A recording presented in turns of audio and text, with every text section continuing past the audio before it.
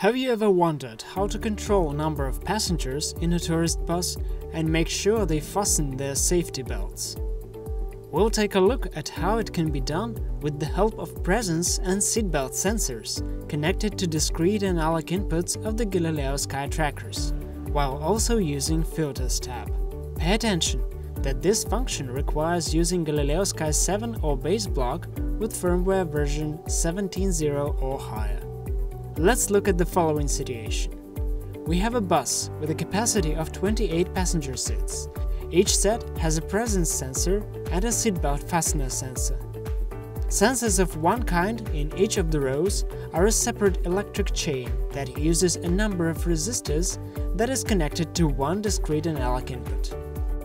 Let's take a closer look at the connection scheme. On the schemes below, the switches of the mentioned sensors SW1 to SW14 are connected via resistors R1 to R14. When a sensor is active, the voltage value measured on the tracker's input changes correspondingly. This changed voltage can be interpreted as the number of active sensors in one chain. R15 resistor is the additional load resistor. VR1 stabilizer is used to provide stable 12V voltage through all sensors chain, which decreases possibility of calculation mistakes when voltage is constantly changing. Please pay attention that such scheme is recommended to have no more than 14 sensors connected to one discrete analog input. Connection of a larger amount will cause mistakes and miscalculations in the interpretation results. In order to use two types of sensors on two rows of 14 sensors each, we will need four inputs as shown on screen. Let's investigate how one of such inputs should be set. For this test, we will use input 1. The input should be set in the configurator program on tab Settings, Ins Outs to measure mean value. In order to interpret the measured voltage and count active sensors, we recommend to use Filters tab in the Configurator program, specifically TAR filter. We set the input and output values first.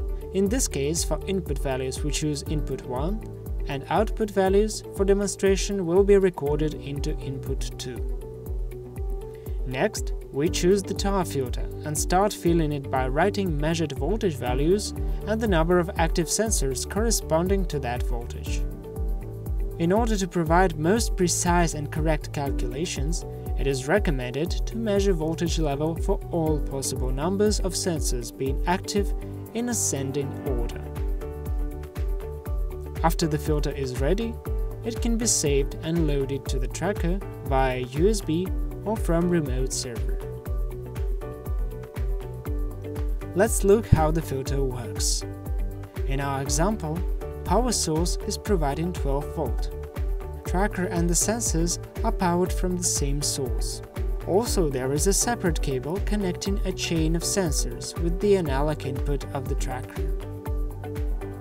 Currently, we can see that all 14 sensors are active, so the belts are fastened. If we disconnect one resistor from the chain, we can see that the belts number changed to 13. If we disconnect 5 resistors, only 9 belts are left. Bringing the resistors back to the chain, we can see that the number changed back to 14. Received data can be sent to the monitoring software for further analysis and reports, or used in the EasyLogic algorithms for checking number of occupied seats with number of fastened seat belts. Input values filtering for sensors count is complete. Always provide your clients with only smart, individually developed solutions. And subscribe to our channel so that useful information is always at hand.